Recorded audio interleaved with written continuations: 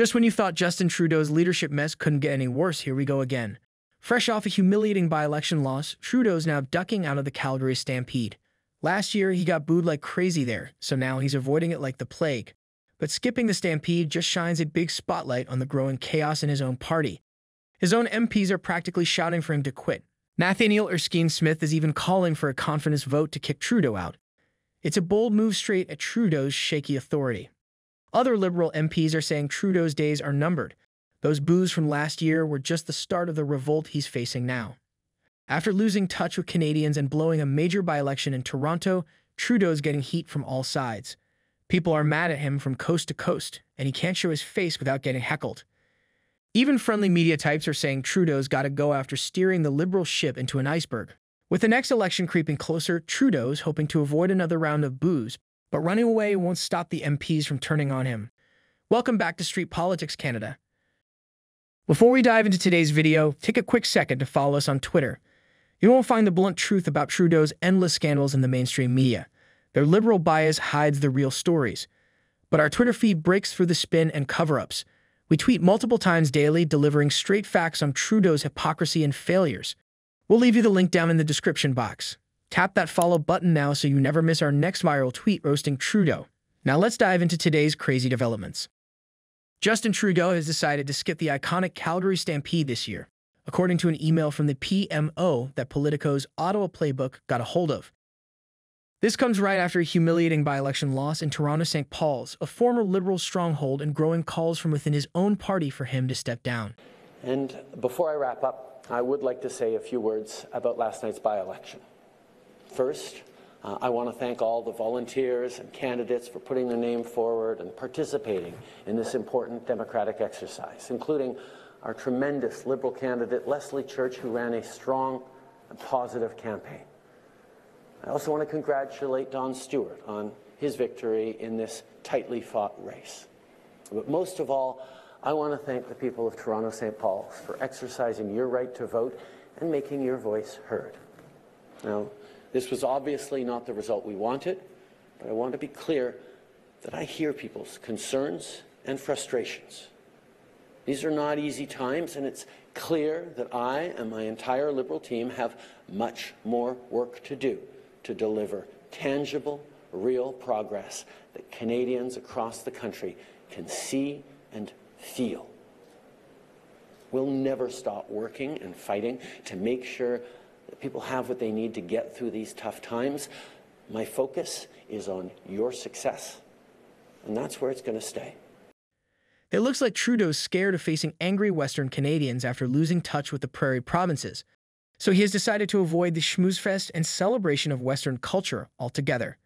When Playbook asked for confirmation, the PMO dodged the question, neither denying nor admitting Trudeau's plans to skip the stampede.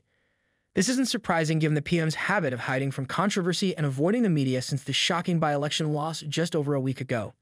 After dancing at pride events in Toronto and Asian festivals in Markham, Trudeau quickly left without taking questions from reporters. Even on Canada Day, he only took questions from a friendly CBC interviewer instead of facing the press corps.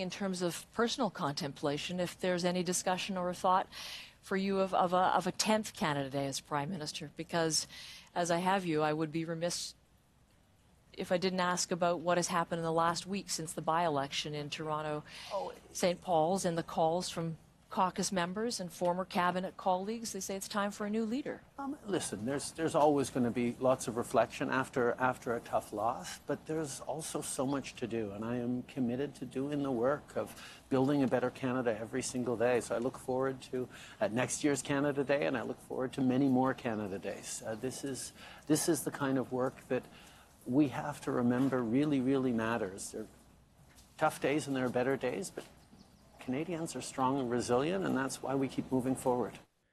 While Trudeau keeps saying he'll stay on as Liberal leader, his actions tell a different story. Skipping the stampede is just the latest move from a weakened Trudeau, who knows his leadership is on shaky ground. Conservative leader Pierre Poilievre is gearing up for a busy schedule meeting donors, supporters, and MLAs.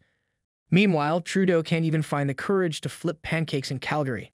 Poilievre is set to be greeted by enthusiastic crowds, while Trudeau hides from the boos and hostility he knows he'll face at the Stampede. Trudeau's avoidance of the West is part of a bigger issue. He's completely out of touch with Western Canada.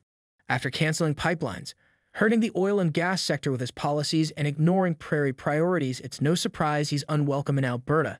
Even his own Liberal MP, George Chahal, who Trudeau once praised as an incredible voice for Calgarians, is now calling for his resignation. Skipping the stampede speaks volumes about Trudeau's shaky grip on leadership. This isn't just about dodging one event. It shows how he's lost the confidence of Canadians and his own MPs. A leader who avoids facing the people is a leader who can't lead the nation. Trudeau's declining popularity isn't limited to traditional conservative Alberta either. Even in longtime Liberal bastions, anger is growing over Trudeau's failed leadership. The Toronto St. Paul's by election loss was a major warning sign of eroding support in Liberal strongholds across Canada. Even his Canada Day message showed how out of touch he really is, tossing out feel good words but offering zero solutions for the challenges our country is facing because of him. Hello, everyone. Happy Canada Day. No matter where you are, I hope you're celebrating the incredible people, the land, and the story that is Canada. It's a story that began more than 157 years ago with Indigenous peoples who've called this land home since time immemorial. It's a story of sacrifice. When Canadian soldiers stormed the beaches of Normandy, they knew they were risking their lives. But freedom, even for those across an ocean, even for generations of people they'd never meet, was worth fighting for. Our rights and freedoms are never guaranteed. They're safeguarded every day by trailblazers, journalists, activists, organizers, people who want to keep building a country where we can disagree, sometimes passionately, but where we always come together in the pursuit of something greater than ourselves. A country where everyone has a fair shot, no matter who they are, where they come from, how they pray, or whom they love. Those are the values that hold us together as Canadians. It's the reason so many people around the world save up everything they have and leave behind everything they know to be part of our story. It's a story that includes injustices, ones that we're confronting on our shared path of reconciliation. It's a story of learning, learning that we're stronger not in spite of our differences, but because of them. And it's a story that's still being written by incredible Canadians who step up for their community and country.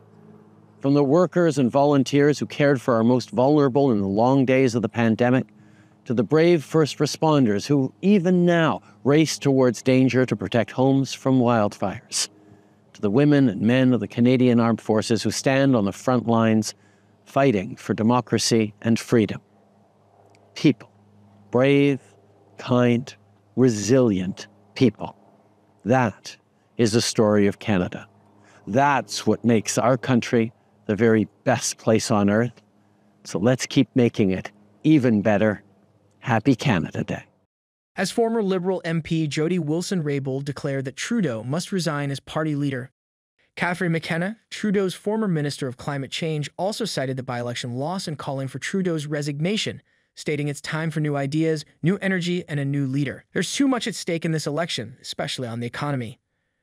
Make no mistake, the Toronto St. Paul's upset reveals a deeper discontent bubbling underneath Trudeau's smiling PR veneer.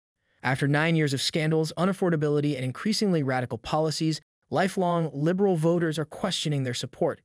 As MP Chandra Arya explained in an ex post, in my view, Trudeau has taken the party and the government too far left of center. He went on to say the Prime Minister and his team have made several wrong policy slash strategic choices over the years.